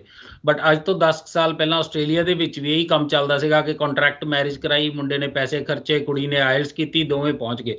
ਫਿਰ ਹੋਇਆ ਕੀ ਕਿ ਮੈਲਬਨ ਤੇ ਸਿਡਨੀ ਦੇ ਜਿਹੜੇ ਕੋਰਟ ਸੀਗੇ, ਉਹਨਾਂ ਕੋਰਟਸ ਦੇ ਵਿੱਚ ਬਾਕੀ ਕੇਸ ਘੱਟ ਸੀਗੇ ਤੇ ਪੰਜਾਬੀਆਂ ਦੇ ਡਿਵੋਰਸ ਕੇਸ ਜ਼ਿਆਦਾ ਲੱਗੇ ਹੋਏ ਸੀਗੇ, ਜਿਨ੍ਹਾਂ ਨੂੰ ਨਿਪਟਾਉਂਦੇ ਨਿਪਟਾਉਂਦੇ ਸਰਕਾਰ ਨੂੰ ਸਮਝ ਲੱਗ ਗਈ ਕਿ ਕਿਸ ਤਰੀਕੇ ਦੇ ਨਾਲ ਸਰਕਾਰ ਦੇ ਨਾਲ ਵੀ ਇਸ ਤਰੀਕੇ ਦੀ ਠੱਗੀ ਵੱਜ ਰਹੀ ਹੈ। ਅੱਜ ਆਸਟ੍ਰੇਲੀਆ ਹਸਬੰਡ ਵਾਈਫ ਨੂੰ ਭੇਜਣਾ ਹੋਵੇ ਤਾਂ ਯੂਨੀਵਰਸਿਟੀ ਆਪਣੇ ਲੈਵਲ ਤੇ ਹੀ ਕਹਿ ਦਿੰਦੀ ਆ ਕਿ ਪਹਿਲਾਂ ਤਾਂ ਜੀ ਨਹੀਂ ਹਸਬੰਡ ਵਾਈਫ ਨੂੰ ਨਹੀਂ ਲਵਾਂਗੇ, ਫਿਰ ਜੇ ਲਵਾਂਗੇ ਤਾਂ ਉਹਨਾਂ ਦਾ ਵਿਆਹ ਕਿੰਨਾ ਪੁਰਾਣਾ ਹੋਣਾ ਚਾਹੀਦਾ ਔਰ ਉਹਨਾਂ ਦੇ ਰਿਲੇਸ਼ਨ ਦੇ ਪ੍ਰੂਫਸ ਇੰਨੇ ਕਿ ਜ਼ਿਆਦਾ ਨੇ ਕਿ ਸ਼ਾਇਦ ਇੱਕ ਜੈਨੂਇਨ ਵਿਆਹ ਵਾਲੇ ਤੋਂ ਵੀ ਕਿਤੇ ਨਾ ਕਿਤੇ ਉਹ ਕਈ ਵਾਰੀ ਪ੍ਰੂਫ ਨਹੀਂ ਦਿੱਤੇ ਜਾਂਦੇ। ਅੱਜ ਕੈਨੇਡਾ ਪੁਰਾਣੇ ਵਿਆਹ ਦੀ ਗੱਲ ਨਹੀਂ ਕਰ ਰਿਹਾ ਅੱਜ ਕੈਨੇਡਾ ਕੋਈ ਬਹੁਤ ਲੰਬੀ ਚੌੜੀ ਇਸ ਡਿਟੇਲ ਦੇ ਵਿੱਚ ਨਹੀਂ ਜਾ ਰਿਹਾ ਕਿ ਮੈਰਿਜ ਦਾ ਜਿਹੜਾ ਤੁਹਾਡਾ ਰਿਲੇਸ਼ਨ ਹੈ ਉਹ ਕਿੰਨਾ ਕੁ ਜੈਨੂਨ ਹੈ ਕਿੰਨਾ ਕੁ ਨਹੀਂ। ਪਰ ਜੇ ਆਪਾਂ ਇਹਨੂੰ ਵੀ ਆਸਟ੍ਰੇਲੀਆ ਵਾਂਗਰ ਸਿਸਟਮ ਨੂੰ ਮਿਸਯੂਜ਼ ਜਾਂ ਅਬਿਊਜ਼ ਕਰਨਾ ਸ਼ੁਰੂ ਕਰ ਦਿੱਤਾ ਤੇ ਅਗਲੇ ਹੋਣ ਵਾਲੇ 6 ਤੋਂ 6 ਮਹੀਨਿਆਂ ਤੋਂ ਸਾਲ ਦੇ ਵਿੱਚ ਦੁਬਾਰਾ ਅਸੀਂ ਆਸਟ੍ਰੇਲੀਆ ਵਾਲੀ ਜਗ੍ਹਾ ਤੇ ਖੜੇ ਹੋਵਾਂਗੇ ਕਿ ਭਾਈ ਕੱਲੇ ਸਖਤੀ ਨਹੀਂ ਹੈ। ਕੈਨੇਡਾ ਨੇ ਸਖਤੀ ਨਹੀਂ ਕੀਤੀ ਹੋਈ ਜੀ। ਹਜੇ ਤੱਕ ਇਦਾਂ ਦੀ ਕੋਈ ਸ਼ਕਤੀ ਨਹੀਂ ਹੈਗੀ ਮੱਕੜ ਸਾਹਿਬ ਪਰ ਪੰਜਾਬ ਦੇ ਏਜੰਟਾਂ ਦੇ ਸਦਕੇ ਦਿਨ ਵੀ ਬਹੁਤ ਹੀ ਦੂਰ ਨਹੀਂ ਹੈਗਾ ਹੋ ਸਕਦਾ ਹੈ ਮੈਂ ਮੈਂ ਇਸ ਕਰਕੇ ਪੁੱਛ ਰਿਹਾ ਕਈ ਵਾਰੀ ਕਈ ਵਾਰੀ ਜਿਹਨਾਂ ਲੋਕਾਂ ਦਾ ਜੈਨੂਇਨ ਵਿਆਹ ਵੀ ਹੈ ਕਿ ਕੁੜੀ ਮੁੰਡੇ ਦਾ ਵਿਆਹ ਹੋਇਆ ਤੇ ਉਸ ਤੋਂ ਬਾਅਦ ਉਹਨਾਂ ਨੇ ਤੁਰੰਤ ਹਫ਼ਤੇ 10 ਦਿਨ ਬਾਅਦ ਆਪਣੀ ਫਾਈਲ ਅਪਲਾਈ ਕਰਨੀ ਹੋਵੇ ਤਾਂ ਉਸ ਕੇਸ 'ਚ ਪ੍ਰੋਬਲਮ ਨਹੀਂ ਆਉਂਦੀ? 10-15 ਦਿਨ ਪੁਰਾਣਾ ਹੀ ਵਿਆਹ ਹੋਵੇ। ਦੇਖੋ, ਹੁਣ ਹੁਣ ਇਹਦੇ ਵਿੱਚ ਦੋ ਦੋ ਐਂਗਲ ਨੇ ਜੀ ਸੋਚਣ ਦੇ। ਸਭ ਤੋਂ ਪਹਿਲੀ ਗੱਲ ਹੈ ਕਿ ਜੇ ਤੁਸੀਂ ਬਾਹਰ ਜਾਣਾ ਹੈ ਔਰ ਪੜ੍ਹਾਈ ਕਰਨ ਦੇ ਲਈ ਜਾਣਾ ਹੈ ਔਰ 15 ਦਿਨ ਪਹਿਲਾਂ ਤੁਸੀਂ ਵਿਆਹ ਕਰਾ ਰਹੇ ਹੋ, ਆਇਲਸ ਕੀਤੀ ਅੱਜ ਤੋਂ 2 ਮਹੀਨੇ ਪਹਿਲਾਂ 2 ਮਹੀਨੇ ਪਹਿਲਾਂ ਵਿਆਹ ਆਇਲਸ ਕਰਨ ਤੋਂ ਬਾਅਦ, ਮਹੀਨੇ ਬਾਅਦ ਫਿਰ ਤੁਸੀਂ ਵਿਆਹ ਕਰਾਉਂਦੇ ਹੋ, ਕਿਉਂਕਿ ਫਿਰ ਤੁਹਾਡਾ ਠੇਕਾ ਹੋ ਗਿਆ ਕਿ ਮੈਂ ਦੇਖ ਆਇਲਸ ਕਰ ਲਈ ਆ, ਹੁਣ ਤੂੰ ਪੈਸੇ ਖਰਚੇਗਾ, ਹਾਂ ਮੈਂ ਪੈਸੇ ਖਰਚਾਂਗਾ, ਹੁਣ ਤੂੰ ਪੈਸੇ ਖਰਚੇਗਾ, ਚੱਲ ਆਪਾਂ ਵਿਆਹ ਕਰਾ ਲਈਏ। 15 ਦਿਨ ਬਾਅਦ ਅਸੀਂ ਐਪਲੀਕੇਸ਼ਨ ਲੈ ਕੇ ਆਪਣੇ ਕਾਗਜ਼ ਲੈ ਕੇ ਏਜੰਟ ਦੇ ਆਫਿਸ 'ਚ ਚੱਲ ਜੰਨੇ ਚੂੜਾ ਪਾਇਆ ਹੈ ਹੱਥਾਂ 'ਚ ਕਿ ਆਲੋ ਪੜੋ ਜੀ, ਮੈਂ ਪੜਨ ਮੈਂ ਨਹੀਂ ਕਹਿੰਦਾ ਕਿ ਸਾਰਾ ਹੀ ਇਹੋ ਜਿਹਾ ਕੇਸ ਜਿਹੜਾ ਉਹ ਨਾਨ ਜੈਨੂਨ ਹੈ ਬਟ ਇਹਦੇ ਵਿੱਚ ਕਾਮਨ ਸੈਂਸ ਦੀ ਗੱਲ ਹੈ, ਹਨਾ? ਕਿੰਨੇ ਇੱਕ ਬੰਦੇ ਨੇ ਜੈਨੂਇਨਲੀ ਜਿਹੜੇ ਵਿਆਹ ਕਰਾਉਣ ਤੋਂ ਬਾਅਦ, ਲੋਕੀ ਵਿਆਹ ਕਰਾਉਣ ਤੋਂ ਬਾਅਦ ਹਨੀਮੂਨ ਤੇ ਜਾਂਦੇ ਨੇ ਕਿ ਅੱਗੋਂ ਸਟੂਡੈਂਟ ਵੀਜ਼ਾ ਐਪਲੀਕੇਸ਼ਨ ਲੈ ਕੇ ਮੈਂ ਜੀ ਹੁਣ ਮੈਂ ਕੈਨੇਡਾ ਪੜਨ ਜਾਣਾ। ਸੋ ਇਹ ਚੀਜ਼ਾਂ ਇਮੀਗ੍ਰੇਸ਼ਨ ਨੂੰ ਸਮਝ ਲੱਗਦੀਆਂ। ਅੱਜ ਯੂਕੇ ਨੇ ਬੰਦ ਕਰਤਾ। ਯੂਕੇ ਦਾ ਲਾਸਟ ਬੈਚ ਹੈ ਜਿਹਦੇ ਵਿੱਚ ਮੀਆਂ ਬੀਬੀ ਇਕੱਠੇ ਜਾ ਸਕਦੇ ਅਗਲੇ ਬੈਚ ਤੋਂ ਉਹਨਾਂ ਨੇ ਡਿਪੈਂਡੈਂਟ ਬੰਦ ਕਰਤੇ। ਕਿਉਂਕਿ ਉੱਥੇ ਵੀ ਜਾ ਕੇ ਇਹੀ ਸਟੋਰੀ ਹੋਈ, ਬੜਾ ਸੌਖਾ ਦੋ ਜਣਿਆਂ ਨੂੰ ਕੰਬਾਈਨ ਕਰਨਾ ਜਾਂ ਖਰਚਾ ਅੱਧਾ ਅੱਧਾ ਕਰ ਲਓ। ਜਾਂ ਫਿਰ ਪੈਸੇ ਇੱਕ ਬੰਦਾ ਲਾ ਲਵੇ ਕਿਉਂਕਿ ਪਤਾ ਮੁੰਡੇ ਤੋਂ ਤਾਂ ਆਇਲਟਸ ਹੋਣੀ ਨਹੀਂ ਮੁੰਡੇ ਨੇ ਤਾਂ ਇੱਥੇ 10ਵੀਂ ਵੀ ਪਾਸ ਨਹੀਂ ਕੀਤੀ ਹੋਈ। ਸੋ ਇਹਨਾਂ ਚੀਜ਼ਾਂ ਨੂੰ ਸਾਨੂੰ ਆਪ ਦੇਖਣਾ ਚਾਹੀਦਾ ਜਾਂ ਯੂਕੇ ਨੇ ਖੰਨਾ ਸਾਹਿਬ ਯੂਕੇ ਨੇ ਬੰਦ ਕਰਤਾ? ਯੂਕੇ ਹੁਣ ਹਸਬੰਡ ਵਾਈਫ ਨੂੰ ਨਹੀਂ ਐਂਟਰਟੇਨ ਕਰਦਾ? ਲਾਸਟ ਲਾਸਟ ਇਨਟੇਕ ਹੈ ਸਤੰਬਰ ਦਾ ਜਿਹਦੇ ਵਿੱਚ ਹਸਬੰਡ ਵਾਈਫ ਇਕੱਠੇ ਜਾਣਗੇ। ਅਗਲੇ ਸਾਲ ਤੋਂ ਮੀਆਂ ਬੀਬੀ ਯੂਕੇ ਦੇ ਵਿੱਚ ਜਾ ਕੇ ਇਕੱਠੇ ਪੜ੍ਹਾਈ ਨਹੀਂ ਕਰ ਸਕਦੇ। ਸਿਰਫ ਇਹਦਾ ਕਾਰਨ ਕੀ ਹੈ ਜੀ? ਇਹਦਾ ਕਾਰਨ ਕਿਉਂ ਹੋਇਆ ਇਸ ਤਰ੍ਹਾਂ? ਇਹੀ ਕਾਰਨ ਹੈ ਮਕੜ ਸਾਹਿਬ, ਕਿਉਂਕਿ ਜੈਨੂਇਨ ਰਿਲੇਸ਼ਨ ਔਰ ਜੈਨੂਇਨ ਵਿਆਹ ਜਿਹਦੇ ਵਿੱਚ ਹਸਬੰਡ ਵਾਈਫ ਜਾਂਦੇ ਆ ਜਾਂ ਅੱਗੋਂ ਜਾ ਕੇ ਸਟੂਡੈਂਟ ਦੇ ਤੌਰ ਤੇ ਪਾਥਵੇ ਲੈ ਕੇ ਆਪਣਾ ਫਿਊਚਰ ਬਣਾਉਣਾ ਚਾਹੁੰਦੇ ਆ, ਉਹ ਘਟ ਗਿਆ। ਵੱਧ ਕੀ ਇਮੀਗ੍ਰੇਸ਼ਨ ਵੱਧ ਗਈ ਔਰ it is it is kind of an illegal immigration only ਕਿਉਂਕਿ ਜਦੋਂ ਤੁਸੀਂ ਇੱਕ ਕੰਟਰੈਕਟ ਹੀ ਇਹ ਕੀਤਾ ਕਿ ਤੂੰ ਬਈ ਮੇਰੀ ਮੁੰਡੇ ਨੂੰ ਉੱਥੇ ਪਹੁੰਚਾਣਾ ਅਗਲਾ ਕਹਿੰਦਾ ਕਿ ਮੈਂ ਵਿਜ਼ਟਰ ਵੀਜ਼ੇ ਵਾਲੇ ਨੂੰ 20 25 ਲੱਖ ਦੇਣ ਨਾਲੋਂ 12 15 ਲੱਖ ਦੀ ਫੀਸ ਖਰਚਾ, ਦੋਨੇ ਜਣੇ ਉੱਥੇ ਪਹੁੰਚ ਗਏ। ਉਸ ਤੋਂ ਬਾਅਦ ਵੀ ਬਹੁਤ ਸਾਰੀਆਂ ਪ੍ਰੋਬਲਮਸ ਆਉਂਦੀਆਂ, ਜਿੱਦਾਂ ਜੇ ਮੈਂ ਆਸਟ੍ਰੇਲੀਆ ਦੀ ਗੱਲ ਕਰ ਲਾਂ, ਜੇ 3 ਸਾਲ ਦੇ ਪ੍ਰੋਗਰਾਮ ਲਈ ਕੁੜੀ ਆਂਦੀ ਸੀਗੀ ਤੇ ਮੁੰਡੇ ਨੂੰ ਉਹ ਬਾਰ-ਬਾਰ ਫੋਰਸ ਕਰਦੇ ਸੀਗੇ ਕਿ ਤੂੰ ਆਪਣੇ ਪੈਸੇ ਦੇ। ਮੇਰੀ ਅਗਲੇ ਸਮੈਸਟਰ ਦੀ ਫੀਸ ਆ ਗਈ, ਹੁਣ ਉਹ ਜਮ੍ਹਾਂ ਕਰਾ। ਮੇਰੇ ਅਗਲੇ ਸਾਲ ਦੀ ਫੀਸ ਆ ਗਈ, ਹੁਣ ਉਹ ਜਮ੍ਹਾਂ ਕਰਾ। ਸੋ ਇਦਾਂ ਦੀਆਂ ਬਹੁਤ ਸਾਰੀਆਂ ਚੀਜ਼ਾਂ ਜੇ ਆਪਾਂ ਇਹਨਾਂ ਨੂੰ ਦੇਖੀਏ, ਉਹਦੇ ਤੋਂ ਇਹ ਪ੍ਰੂਵ ਹੁੰਦਾ ਕਿ ਅਸੀਂ ਕਿਸੇ ਚੀਜ਼ ਨੂੰ ਕੋਈ ਚੀਜ਼ ਸ਼ੁਰੂ ਹੁੰਦੀ, ਉਹਦਾ ਇੰਨਾ ਕੁ ਲਾਹਾ ਲਾ ਦਿੰਨੇ ਆ ਕਿ ਅਲਟੀਮੇਟਲੀ ਗਵਰਨਮੈਂਟ ਨੂੰ, ਉਹਨਾਂ ਕੰਟਰੀਜ਼ ਦੀ ਇਮੀਗ੍ਰੇਸ਼ਨ ਨੂੰ, ਉਹ ਸਿਸਟਮ ਉਹ ਰੂਲ ਚੇਂਜ ਕਰਨਾ ਪੈਂਦਾ, ਜਿਹਦੇ ਕਰਕੇ ਨੈਕਸਟ ਜਨਰੇਸ਼ਨਸ ਜਾਂ ਅਗਲੇ ਜਿਹੜੇ ਸਟੂਡੈਂਟਸ ਹੈਗੇ ਉਹਨਾਂ ਨੂੰ ਸਫਰ ਕਰਨਾ ਪੈਂਦਾ ਜੀ। ਖੰਨਾ ਸਾਹਿਬ, ਆਖਰੀ ਸਵਾਲ ਹੈ, ਤੁਸੀਂ ਕਹਿ ਰਹੇ ਹੋ ਕਿ ਯੂਕੇ ਸਪਾਊਸ ਨਹੀਂ ਜਾ ਸਕਦਾ, ਤਾਂ ਜ਼ਾਹਿਰ ਜੀ ਗੱਲ ਹੈ ਕਿ ਲੋਕ ਹੁਣ ਕੈਨੇਡਾ ਨੂੰ ਹੀ ਐਜ਼ ਆਪਸ਼ਨ ਦੇਖਣਗੇ, ਕਿਉਂਕਿ ਆਸਟ੍ਰੇਲੀਆ ਤਾਂ ਆਲਰੇਡੀ ਬਹੁਤ ਸਖਤ ਹੈ। ਕੈਨੇਡਾ ਦੇ ਹਾਲਾਤ ਕੀ ਨੇ? ਕਿਉਂਕਿ ਖਬਰਾਂ ਸਾਡੇ ਤੱਕ ਇਹ ਆਉਂਦੀਆਂ ਕਿ ਬ੍ਰੈਂਪਟਨ, ਟੋਰਾਂਟੋ ਦੇ ਵਿੱਚ ਤਾਂ ਆਟਾ ਬਹੁਤ ਮਹਿੰਗਾ ਹੈ, ਮਹਿੰਗਾਈ ਹੋ ਗਈ ਔਰ ਕੰਮ ਨਹੀਂ ਮਿਲਦਾ ਪਿਆ ਜੀ। ਦੇਖੋ ਮੱਕੜ ਸਾਹਿਬ, ਇਹ ਕਿਸੇ ਇੱਕ ਸਪੈਸੀਫਿਕ ਕੰਟਰੀ ਦਾ, ਇੱਕ ਸਪੈਸੀਫਿਕ ਸਿਟੀ ਦਾ ਹਾਲ ਨਹੀਂ ਹੈਗਾ ਜੇ। ਅਸੀਂ ਕਹੀਏ ਕਿ ਕੈਨੇਡਾ ਦਾ ਇਹ ਹਾਲ ਹੈ ਜਾਂ ਬਰੈਂਪਟਨ ਦਾ ਇਹ ਹਾਲ ਹੈ ਇਦਾਂ ਨਹੀਂ ਹੈ। ਮੈਂ ਆਸਟ੍ਰੇਲੀਆ ਦੇ ਵਿੱਚ ਆ ਪਰਸੋਂ ਮੇਰੇ ਆਪਣੇ ਭੇਜੇ ਹੋਏ ਸਟੂਡੈਂਟਸ ਕੋਈ ਮੈਨੂੰ ਮਿਲੇ ਸੀਗੇ ਤੇ ਉਹਨਾਂ ਨੂੰ ਮੈਂ ਪੁੱਛਿਆ ਕੀ ਕੰਮਕਾਰ ਕਰਦੇ ਹੋ। ਉਹ ਟਰਾਂਸਪੋਰਟ ਇੰਡਸਟਰੀ 'ਚ ਨੇ, ਉਹ ਕਹਿੰਦਾ ਭਾਜੀ ਅਸੀਂ ਐਸੇ ਕੰਟੇਨਰ ਚੁੱਕਦੇ ਆ ਡੌਕਯਾਰਡ ਤੋਂ। ਅੱਗੇ 7 ਦਿਨ ਸਾਡੇ ਕੋਲ ਕੰਮ ਹੁੰਦਾ ਸੀਗਾ, ਹੁਣ ਸਾਡੇ ਕੋਲ 5 ਦਿਨ ਕੰਮ ਹੈ। ਸੋ ਅਲਟੀਮੇਟਲੀ ਜਿਹੜੀ ਚੀਜ਼ ਇਨਫਲੇਸ਼ਨ ਦੀ ਆਪਾਂ ਗੱਲ ਕਰਦੇ ਆ ਜੇ ਥੋੜਾ ਜਿਹਾ ਆਪਾਂ ਇਸ ਚੀਜ਼ ਬਾਰੇ ਸਾਡੇ ਸਰੋਤੇ ਜਾਣੂ ਹੋਣ ਕਿ ਇਨਫਲੇਸ਼ਨ ਜਿਹੜੀ ਉਹ ਵੱਧ ਰਹੀ ਹੈ ਉਸ ਇਨਫਲੇਸ਼ਨ ਨੂੰ ਵਧਨ ਕਰਕੇ ਜਿਹੜਾ ਪ੍ਰਾਈਸਸ ਹੈਗੇ ਆ ਚੀਜ਼ਾਂ ਦੇ, ਚਾਹੇ ਆਟਾ ਜਾਂ ਕਿਸੇ ਵੀ ਹੋਰ ਚੀਜ਼ ਦੇ ਰੇਟ ਜਿਹੜੇ ਹੈਗੇ ਉਹ ਵਧੇ ਹੋਏ ਆ। ਔਰ ਉਹਦੇ ਕਰਕੇ ਅਨਇੰਪਲੋਇਮੈਂਟ ਵੀ ਜਿਹੜੀ ਹੈਗੀ ਆ, ਉਹ ਹੌਲੀ ਹੌਲੀ ਵੱਧ ਰਹੀ ਹੈ ਜਿਹੜੀਆਂ ਜੌਬਸ ਹੈਗੀਆਂ, ਉਹ ਘਟ ਰਹੀਆਂ, ਲੋਕਾਂ ਦੇ ਬਿਜ਼ਨਸ ਸਫਰ ਕਰ ਰਿਹਾ। ਔਰ ਅਗਲੇ 6 ਮਹੀਨੇ, ਸਾਲ ਤੱਕ ਇਹ ਰਿਸੈਸ਼ਨ ਹਜੇ ਵਧਣਾ ਸੋ ਇਟ ਇਜ਼ ਨਾਟ ਕਿ ਸਿਰਫ ਕੈਨੇਡਾ ਦਾ ਜਾਂ ਬ੍ਰੈਂਪਟਨ ਦਾ ਜਾਂ ਸਰੀ ਦਾ ਬੁਰਾ ਹਾਲ ਹੈ, ਉਹ ਸਾਰਾ ਗਲੋਬਲੀ ਜਿਹੜੀ ਰਿਸੈਸ਼ਨ ਹੈਗੀ ਹੈ ਗਲੋਬਲੀ ਜਿਹੜੀ ਮਾਰਕੀਟ ਆ, ਉਹਦੇ ਵਿੱਚ ਇਹ ਹਾਲ ਹੈ। ਬਟ ਹੌਲੀ ਹੌਲੀ ਚਾਹੇ ਉਹ ਫੈਡਰਲ ਰਿਜ਼ਰਵ ਹੈ ਜਾਂ ਹੋਰ ਜਿਹੜੀਆਂ ਫਾਈਨੈਂਸ਼ੀਅਲ ਗਰੁੱਪਸ ਹੈਗੇ ਆ ਕੰਟਰੀਜ਼ ਦੇ, ਉਹ ਇਹਨੂੰ ਜਾਂ ਗਵਰਨਮੈਂਟ ਜਿਹੜੀਆਂ ਹੈਗੀਆਂ, ਇਹਨੂੰ ਠੀਕ ਕਰਨ ਦੇ ਪਾਸੇ ਲੱਗੀਆਂ ਹੋਈਆਂ so it is going to be another 6 months to a year ਜਦੋਂ ਇਸ ਚੀਜ਼ਾਂ ਵਾਪਸ ਉਸ ਪਾਸੇ ਆ ਜਾਣਗੀਆਂ। ਮੈਂ ਕੈਨੇਡਾ ਦੇ ਵਿੱਚ ਅੱਜ ਤੋਂ ਸਾਲ ਪਹਿਲਾਂ, ਪਿਛਲੇ ਸਾਲ ਜੇ ਸਤੰਬਰ ਦੀ ਗੱਲ ਕਰ ਲਵਾਂ 2022 ਦੀ, ਉਹ ਟਾਈਮ ਵੀ ਦੇਖਿਆ ਕਿ ਜਦੋਂ ਮੌਂਟਰੀਅਲ ਸ਼ਹਿਰ ਦੇ ਵਿੱਚ ਸਟਾਰਬਕਸ ਜਿਹੜਾ ਦੁਪਹਿਰੇ 3 ਵਜੇ ਉਹਨਾਂ ਨੇ ਬੰਦ ਕਰਤਾ। ਸਵੇਰੇ ਮੈਂ ਉੱਥੋਂ ਕਾਫੀ ਲਈ ਤੇ ਸ਼ਾਮ ਨੂੰ ਦੁਬਾਰਾ ਕਾਫੀ ਲੈਣ ਗਿਆ, ਉਹ ਕਹਿੰਦੇ, ਬੰਦ। ਮੈਂ ਉੱਥੇ ਬੰਦੇ ਨੂੰ ਪੁੱਛਿਆ, ਮੈਂ ਕਿਹਾ, ਇਹ ਕੀ ਆ? ਕਹਿੰਦੇ ਜੀ ਸਟਾਫ ਨਹੀਂ ਹੈਗਾ ਸਾਡੇ ਕੋਲ। ਸੋ ਕਿੱਥੇ ਲੇਬਰ ਸ਼ਾਰਟੇਜ ਸੀਗੀ ਔਰ ਅੱਜ ਆਪਾਂ ਉਹ ਗੱਲ ਕਰਦੇ ਆ ਕਿ ਉਸ ਰਿਸੈਸ਼ਨ ਕਰਕੇ ਹੁਣ ਲੇਬਰ ਦੀ ਸਪਲਾਈ ਵੱਧ ਗਈ ਔਰ ਉਹਨਾਂ ਦੀਆਂ ਜਿਹੜੀਆਂ ਜੌਬਸ ਹੈਗੀਆਂ ਉਹ ਘਟ ਗਈਆਂ। So it is just a matter of few more months ਔਰ ਸਾਰਾ ਵਰਲਡ ਉਸ ਚੀਜ਼ ਨੂੰ ਸਫਰ ਕਰ ਰਿਹਾ ਜੀ। ਕਿੰਨੇ ਘੰਟੇ ਲੀਗਲੀ ਕੰਮ ਕਰ ਸਕਦਾ ਸਪਾਊਸ ਜਿਹੜਾ ਚਾਹੇ ਉਹ ਕੁੜੀ ਹੋਵੇ ਚਾਹੇ ਮੁੰਡਾ ਹੋਵੇ ਹਸਬੰਡ ਵਾਈਫ ਚੋਂ ਕੋਈ ਵੀ? ਕੈਨੇਡਾ ਦੇ ਵਿੱਚ ਓਪਨ ਵਰਕ ਪਰਮਿਟ ਤੇ ਸਪਾਊਸ ਨਾਲ ਜਾਂਦਾ ਤੇ ਉਹਦੇ ਕੋਲ ਅਨਲਿਮਿਟਿਡ ਵਰਕਿੰਗ ਆਵਰਸ ਹੈ। ਅਨਲਿਮਿਟਿਡ ਵਰਕਿੰਗ ਆਵਰਸ ਦਾ ਮਤਲਬ ਆਪਾਂ ਕਹਿ ਲਈਏ ਕਿ 40 ਘੰਟੇ ਹਫ਼ਤੇ ਦੇ ਉਹ ਕੰਮ ਕਰ ਸਕਦਾ ਹੈ। ਬਟ ਓਪਨ ਵਰਕ ਪਰਮਿਟ ਹੈ ਉਹ ਕਿਸੇ ਵੀ ਐਲਐਮਆਈਏ ਦੇ ਨਾਲ ਬੱਜਿਆ ਨਹੀਂ ਹੋਇਆ ਉਹ ਕਿਸੇ ਵੀ ਕਾਰਪੋਰੇਸ਼ਨ ਦੇ ਨਾਲ ਬੱਜਿਆ ਨਹੀਂ ਹੋਇਆ। ਜਿਸ ਤਰੀਕੇ ਦਾ ਵੀ ਕੰਮ ਉਹਨੂੰ ਆਉਂਦਾ ਹੈ ਜਿਹੜੀ ਵੀ ਇੰਡਸਟਰੀ ਦੇ ਵਿੱਚ ਉਹ ਕੰਮ ਉਹਦੇ ਕੋਲ ਐਕਸਪੀਰੀਅੰਸ ਹੈਗਾ ਉੱਥੇ ਜਾ ਕੇ ਕੰਮ ਕਰ ਸਕਦਾ। ਔਰ ਉਸ ਤੋਂ ਬਾਅਦ ਪੀਆਰ ਦਾ ਰਾਹ ਪੀਆਰ ਦਾ ਰਾਹ ਮਕਰ ਸਾਹਿਬ, ਕਿਸੇ ਵੀ ਕੰਟਰੀ ਦਾ ਸੌਖਾ ਰਾਹ ਅੱਜ ਵੀ ਨਹੀਂ ਹੈਗਾ ਔਰ ਅੱਗੋਂ ਵੀ ਨਹੀਂ ਹੋਣਾ। ਜੇ ਕੈਨੇਡਾ ਦੀ ਗੱਲ ਕਰ ਲਈਏ, ਅੱਜ ਵੀ ਜੇ ਸਟੂਡੈਂਟ ਨੂੰ ਪੜ੍ਹਾਈ ਕਰਨ ਤੋਂ ਬਾਅਦ ਜਿਹੜੀ ਪੀਆਰ ਹੈਗੀ ਹੈ, ਉਹ ਐਕਸਪ੍ਰੈਸ ਐਂਟਰੀ ਦੇ ਪੁਆਇੰਟਸ ਦੇ ਥਰੂ ਪਾਣੀ ਪੈਂਦੀ ਹੈ ਜਾਂ ਕਿਸੇ ਰੀਜਨਲ ਏਰੀਆ ਦੇ ਵਿੱਚ ਜਾ ਕੇ ਪ੍ਰੋਵਿੰਸ਼ੀਅਲ ਨੋਮੀਨੇਸ਼ਨ ਦੇ ਥਰੂ ਪਾਣੀ ਪੈਂਦੀ ਹੈ। ਸਟੂਡੈਂਟ ਕੀ ਕਰਦਾ ਜਦੋਂ ਸਾਡੇ ਕੋਲ ਆਫਿਸ ਆਂਦਾ ਉਹ ਸਟੂਡੈਂਟ ਵੀਜ਼ਾ ਅਪਲਾਈ ਕਰਨ ਤੋਂ ਪਹਿਲਾਂ ਇਹ ਪੁੱਛਦਾ ਕਿ ਮੈਨੂੰ ਦੱਸੋ ਪੀਆਰ ਕਿੱਦਾਂ ਮਿਲੂਗੀ, ਕਿੰਨੇ ਸਾਲਾਂ ਬਾਅਦ ਮਿਲੂਗੀ। ਅੱਜ ਜਦੋਂ ਤੁਸੀਂ ਆਪਣਾ ਸਟੂਡੈਂਟ ਵੀਜ਼ਾ ਅਪਲਾਈ ਕਰਦੇ ਹੋ 2 ਸਾਲ ਦੀ ਪੜ੍ਹਾਈ ਲਈ ਤੁਹਾਨੂੰ ਸਟੂਡੈਂਟ ਵੀਜ਼ਾ ਮਿਲਿਆ, ਉਸ ਤੋਂ ਬਾਅਦ 3 ਸਾਲ ਦਾ ਤੁਹਾਨੂੰ ਪੋਸਟ ਗ੍ਰੈਜੂਏਟ ਵਰਕ ਪਰਮਿਟ ਮਿਲਿਆ ਸੋ ਥੈਟ ਮੀਨਸ 5 ਸਾਲ ਤਾਂ ਤੁਹਾਡੇ ਇਹ ਨਿਕਲ ਗਏ। 5 ਸਾਲਾਂ ਬਾਅਦ ਜਦੋਂ ਤੁਸੀਂ ਆਪਣੀ ਪੀਆਰ ਦੀ ਫਾਈਲ ਪਾਣੀ ਹੈ, ਉਸ ਦਿਨ ਪੀਆਰ ਦੇ ਕੀ ਰੂਲਸ ਨੇ, ਉਹਦੇ ਬੇਸਿਸ ਦੇ ਉੱਤੇ ਤੁਹਾਡੀ ਫਾਈਲ ਲੱਗਣੀ ਆ ਅੱਜ ਦੇ ਰੂਲ ਜੇ ਮੈਂ ਸਟੂਡੈਂਟ ਨੂੰ ਦੱਸ ਵੀ ਦਵਾਂ ਕਿ ਭਾਈ ਤੂੰ ਪੀਆਰ ਇਦਾਂ ਪਾ ਸਕਦਾ ਜਾਂ ਪੁਆਇੰਟ ਬੇਸ ਸਿਸਟਮ ਇਹ ਹੈ ਜਾਂ ਫਲਾਣੇ ਪ੍ਰੋਵਿੰਸ ਦੇ ਵਿੱਚ ਤੈਨੂੰ ਪ੍ਰੋਵਿੰਸ਼ੀਅਲ ਨੋਮੀਨੇਸ਼ਨ ਮਿਲ ਜੂਗੀ, ਉਹ ਉਹਦੇ ਲਈ ਵੈਲਿਡ ਹੀ ਨਹੀਂ ਹੈਗੇ। ਕਿਉਂਕਿ ਜਿੱਦਨ ਤੁਸੀਂ ਫਾਈਲ ਐਪਲੀਕੇਸ਼ਨ ਐਮਬੈਸੀ ਦੇ ਵਿੱਚ ਭੇਜਣੀ ਹੈ ਉਦੋਂ ਦੇ ਜਿਹੜੇ ਰੂਲ ਹੈਗੇ ਆ, ਉਹ ਤੁਹਾਡੇ ਤੇ ਲੱਗਣੇ ਸੋ 5 ਸਾਲਾਂ ਬਾਅਦ ਉਹ ਰੂਲ ਕਿੰਨੇ ਕੁ ਸਖਤ ਹੋਣਗੇ ਜਾਂ ਲੀਨੀਅੰਟ ਹੋਣਗੇ, ਇਹ ਕੋਈ ਵੀ ਨਹੀਂ ਦੱਸ ਸਕਦਾ। ਬਹੁਤ ਧੰਨਵਾਦ, ਤੁਸੀਂ ਬਹੁਤ ਸਪਸ਼ਟ ਤੇ ਸਿੱਧੀਆਂ ਗੱਲਾਂ ਸਾਡੇ ਨਾਲ ਕੀਤੀਆਂ। ਜੇ ਦਰਸ਼ਕ ਸਿੱਧੇ ਤੌਰ ਤੇ ਵੀ ਪੁਨੀਤ ਖੰਨਾ ਸਾਹਿਬ ਨਾਲ ਕੋਈ ਸਵਾਲ ਜੇ ਮੇਰੇ ਥਰੂ ਰਹਿ ਗਿਆ ਹੋਵੇ, ਤੁਹਾਡੇ ਜ਼ਿਹਨ 'ਚ ਕੋਈ ਸਵਾਲ ਹੈ, ਤਾਂ ਤੁਸੀਂ ਸਵਾਲ ਕਰ ਸਕਦੇ ਹੋ। ਅਸੀਂ ਤੁਹਾਡਾ ਨੰਬਰ ਜਿਹੜਾ ਹੈ ਪੁਨੀਤ ਖੰਨਾ ਸਾਹਿਬ, ਉਹ ਦਰਸ਼ਕਾਂ ਦੇ ਨਾਲ ਹੇਠਾਂ ਸਕਰੀਨ ਦੇ ਵਿੱਚ ਸਾਂਝਾ ਕਰ ਰਹੇ ਹਾਂ। ਸਾਡੇ ਨਾਲ ਜੁੜਨ ਵਾਸਤੇ ਬਹੁਤ ਧੰਨਵਾਦ। ਬਹੁਤ ਬਹੁਤ ਸ਼ੁਕਰੀਆ ਮਕੜ ਸਾਹਿਬ।